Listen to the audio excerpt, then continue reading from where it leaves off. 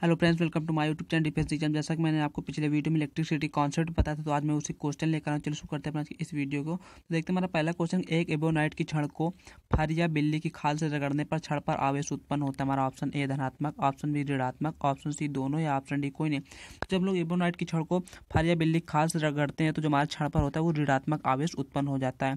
क्योंकि हमने एक सारणी पढ़े जिसमें एक बिल्ली फर या बिल्ली की खाल ऊपर होती है और एबोनाइट सबसे नीचे होती है। तो ऊपर वाली को अगर नीचे वाले से रगड़ते तो ऊपर वाली धनात्मक तथा नीचे वाले ऋणात्मक होता है तो यहाँ पर हमारा ऑप्शन बी राइट हो जाएगा, यानी कि ऋणात्मक उत्पन्न होता है। अगला क्वेश्चन एक का, एक कांच की छड़ को रेशम के कपड़े या रबड़ पर रगड़ने से छड़ पर आवेश उत्पन्न होगा। जब हम लोग कांच की छड़ को रेशम के कपड़े या रबड़ पर रगड़ते हैं तो ऑप्शन ए दिया धनात्मक ऑप्शन बी दिया ऋणात्मक ऑप्शन सी दोनों या ऑप्शन डी कोई नहीं। तो जब हम लोग कांच की छड़ को रेशम कपड़े से रगड़ते हैं या रबड़ से तो हमारी कांच की छड़ होती है, वो होती है ऊपर तो उसमें धनात्मक आवेश उत्पन्न होगा, यानी कि हमारा ऑप्शन ए राइट हो जाएगा। नेक्स्ट क्वेश्चन निम्न में से कौन सा कथन गलत है? ऑप्शन ए, रबर या प्लास्टिक की क्षण को ऊन से रगड़ने पर क्षण पर ऋण आवेश उत्पन्न होता है। ऑप्शन ए हमारा राइट है। नेक्स्ट क्वेश्चन, स्वर्ण प्रत विद्युत दर्शी की चक्रिका को रबड़ से रगड़ने पर धनावेश उत्पन्न होता है, ये भी राइट है हमारा। अगला क्वेश्चन, कांच की छड़ को फर या बिल्ली की खाल से रगड़ने पर छड़ पर ऋणावेश उत्पन्न होता है, ये भी हमारा ऑप्शन राइट है।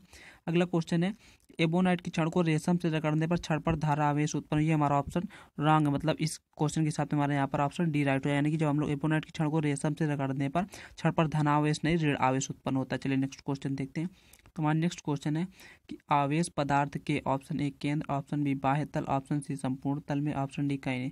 तो जो हमारा आवेश होता है वो पदार्थ के बाह्य तल पर उत्पन्न होता है तो हमारा ऑप्शन बी यहाँ पर राइट हो जाएगा। नेक्स्ट क्वेश्चन है, आकाश में बिजली चमकने का कारण होता है। जो हमारा आकाश में बिजली चमकने का कारण हमारा क्या होता है? ऑप्शन ए दिया है वायुमंडलीय दाब पर विद्युत विसर्जन। ऑप्शन बी निर्वात में विद्युत विसर्जन। ऑप्शन सी बादलों के टकराने से। ऑप्शन डी दैव्य कोप से। तो हमारा जो आकाश में बिजली चमकने का कारण होता है, वहाँ पर ऑप्शन ए राइट हो जाएगा वायुमंडलीय दाब पर विद्युत विसर्जन से होता है। अब देखिए नेक्स्ट क्वेश्चन हमारा इलेक्ट्रॉन का आवेश होता है, कूलाम में पूछ रहा पहला ऑप्शन एक दशमलव छः गुड़े दस की पावर माइनस उन्नीस। ऑप्शन बी एक दशमलव छः गुड़े दस की पावर बीस। ऑप्शन सी चार दशमलव आठ गुड़े दस की पावर माइनस दस। और ऑप्शन डी दिया एक दशमलव छः गुड़े दस की पावर माइनस दस। तो तो आप सभी लोग पता होगा हमारा जो इलेक्ट्रॉन पर आवेश होता होता होता है एक दशमलव छः गुण दस की पावर माइनस उन्नीस। तो हमारे यहाँ पर ऑप्शन ए राइट हो जाएगा। चलिए नेक्स्ट क्वेश्चन देखते हैं। तो हमारा नेक्स्ट आवेश क्वेश्चन देखिए है कि विजातीय आवेशों के मध्य लगने वाला बल है। ऑप्शन ए गुरुत्वीय ऑप्शन बी चुंबकीय ऑप्शन सी नाभिकीय आकर्षण ऑप्शन डी कूलाम आकर्षण। तो विजातीय आवेशों के मध्य जो हमारे लगने वाला बल होता है, क्या होता है? कूलाम का आकर्षण यानी कूलाम का बल। तो यहाँ पर ऑप्शन डी हमारा राइट हो जाएगा। अगला हमारा नेक्स्ट क्वेश्चन दो आवेश कुछ दूरी पर स्थित हैं।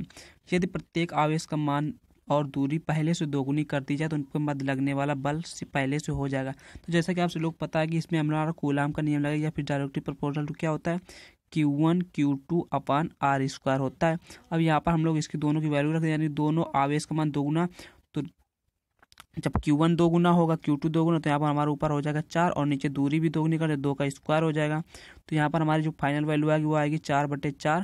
तो चार से चार हमारा कट हो जाएगा तो हमारा मान क्या आएगा? जब जो डायरेक्टिव प्रोपोनल टू पहले की एक आएगा, यानी कि मान हमारा अपरिवर्तित रहेगा तो यहाँ पर हमारा ऑप्शन डी राइट हो जाएगा। देखिए क्योंकि आवेश का मान भी दोनों का दोगुना कर टू इंटू टू फोर हो जाएगा। और दूरी का हम लोग वर्क करते हैं, दूरी भी दोगुनी हुई तो अपन आर स्क्वायर तो आर का वर्क करेंगे, दोनों कट यानी कि पहले इतना ही रहेगा वन रहेगा। तो हमारा मान, यहाँ पर ऑप्शन डी राइट हो, यानी कि अपरिवर्तित रहेगा। ये क्वेश्चन कई बार एग्ज़ाम में पूछा जा चुका है इसको अच्छे से नोट करिए और लर्न कर लीजिएगा कि आवेश का मान भी दोगुना दोनों का, और दूरी का मान भी दोगुना कर दिया तो हमारा जो विद्युत बल होता है, वो अपरिवर्तित रहता है। नेक्स्ट क्वेश्चन इलेक्ट्रॉन वोल्ट मात्रा का ये क्वेश्चन इस सार और डबल ए में तो कई बार पूछा जा चुका है जी के जी एस वाले पोर्शन में। फिजिक्स में तो नहीं है, लेकिन जी के जी एस वाले पोर्शन में पूछा जा चुका है कि इलेक्ट्रॉन वोल्ट मात्रा का हमारा ऑप्शन है ऊर्जा का ऑप्शन बी आवेश का ऑप्शन सी विद्युत राशि का ऑप्शन डी विभव का तुम्हारा ऊर्जा का मात्रक है। नेक्स्ट क्वेश्चन है, विभव राशि है ऑप्शन ए अधिस ऑप्शन बी सदिश ऑप्शन सी दोनों ऑप्शन डी इनमें से जो हमारा विभव होता है वह एक अधिस राशि होती है, हमारा ऑप्शन ए राइट हो जाएगा। चलिए नेक्स्ट क्वेश्चन देखते हैं, हमारा नेक्स्ट क्वेश्चन है कि यदि पृथ्वी के पास रखे एक आवेशित चालक को पृथ्वी से जोड़ दे तो उसकी धारिता ऑप्शन ए घटती है, ऑप्शन बी बढ़ती है, ऑप्शन सी शून्य होती है, ऑप्शन डी अपरिवर्तित है। जब हम लोग पृथ्वी के पास रखे एक आवेशित चालक को पृथ्वी से जोड़ देते हैं तो उसकी धारिता घटती है, यानी कि हमारा ऑप्शन ए राइट हो जाएगा। अगला क्वेश्चन, राशि और उसके मात्रक के बारे में इनमें से कौन सा युग्म गलत है? दो आवेशित वस्तुओं के मध्य, विद्युत बल, न्यूटन। ऑप्शन बी, विद्युत आवेश कूलाम ऑप्शन सी, विद्युत विभव, एम्पियर। देखिए, विद्युत विभव हमारे एम्पियर में नहीं मापा जाता तो ये हमारा ऑप्शन सी राइट हो गया, यानी कि विद्युत विभव गलत हो गया। अगला क्वेश्चन है कि एक इलेक्ट्रॉन को विद्युत क्षेत्र में एक बिंदु से दूसरे बिंदु तक ले जाने में किया गया कार्य एक दशमलव छः गुण दस की पार माइनस उन्नीस जूल है और दोनों बिंदु, बिंदुओं की विभानता हमसे बोल्ट में पूछ रहा है। तो हमें यहाँ किसकी वैल्यू दी यानी कि डब्लू की वैल्यू हमें दी गई है कि एक दशमलव छः गुड़े दस की पावर माइनस उन्नीस।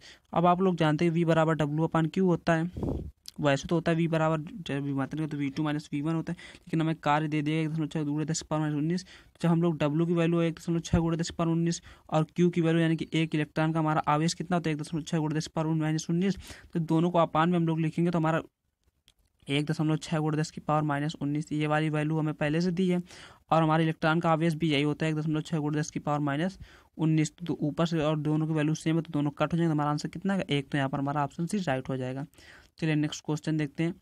तो हमारा नेक्स्ट क्वेश्चन है कि समान रूप से आवेशित गोले के कारण वैद्युत क्षेत्र की तीव्रता का मान अधिकतम कहाँ पर होता है? ऑप्शन ए केंद्र पर ऑप्शन बी सतह पर ऑप्शन सी अनंत पर ऑप्शन डी एक सेंटीमीटर दूरी पर। तो देखिए, जब हमारा समान रूप से आवेशित गोले के कारण विद्युत क्षेत्र की तीव्रता का मान अधिकतम कहाँ पर होता है? सतह पर। तो ऑप्शन बी हमारा राइट हो जाएगा। ये क्वेश्चन कई बार एग्ज़ाम पूछा जा चुका है और लूसेंट बुक में भी आपका दिया है कि समान रूप से आवेशित गोले सतह के कारण विद्युत क्षेत्र की तीव्रता अधिकतम मान कहाँ होता है? सतह पर होता है, केंद्र पर नहीं होता।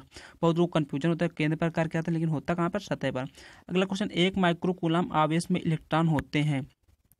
ऑप्शन ए छः दशमलव दो पाँच गुड़े दस की पावर बारह, ऑप्शन बी एक दशमलव छः गुड़े दस की पावर माइनस उन्नीस, ऑप्शन सी छः दशमलव दो पाँच गुड़े दस की पावर उन्नीस, ऑप्शन डी छः दशमलव दो पाँच गुड़े दस की पावर अट्ठारह तो देखिए हमारा एक माइक्रो कुलाम हमें पता है एक कुलाम आवेश का कुलाम में जो आवेश होता है वो कितना होता है?